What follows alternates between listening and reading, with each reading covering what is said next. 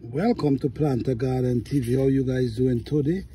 Okay guys today we're gonna plant a cabbage in this container. You can plant cabbage in container. You just want to make sure that the container have rooms for the cabbage to grow. I'm going to use my tape measure and i'm going to give you an idea of what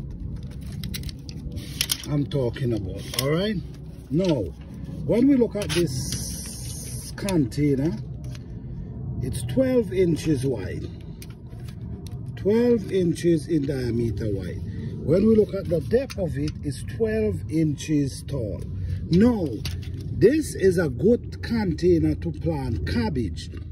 Why it's a good container to plant cabbage? Because if you look at the size of a cabbage root when you pull it up and you look at the size of the cabbage root this is enough room for that cabbage to grow. So if you have the container and the container is big enough then this you can definitely plant cabbage in container. They do pretty well in container. So i'm going to show you here.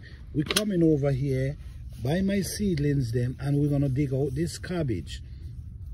We're going to dig out this cabbage. Remember guys you cannot damage the root of the cabbage. If you damage the root, especially when February, this weather is still cold and you damaging the root, that's a problem. You see the root is still intact. Look at the bottom there, that's the main root, that's the feeder down there. So this, you cannot damage this. If you're able to get your seedling out whole like this, it's a better chance of it continue growing when you plant it. So now what we do now, we just cover it up in this container and we just leave it in here. Now, you want to make sure you know how your plants take water. Do they love plenty water or they don't? No, this is in the winter. I'm actually doing this in the winter. But these cabbage love cold weather so you ain't got to worry about that especially if you're living in zone 8 zone 9 you ain't got to worry about these things about freezing.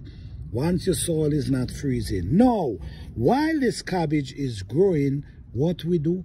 We, we're gonna be adding soil adding soil until it get up to the top.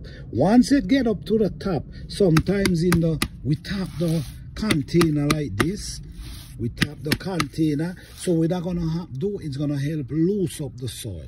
So guys yes this we're gonna be i'm gonna be showing you the update from this cabbage from time to time and now i'm gonna be doing a lot of container garden. So guys please stay tuned don't forget to like subscribe and share. All right thank you guys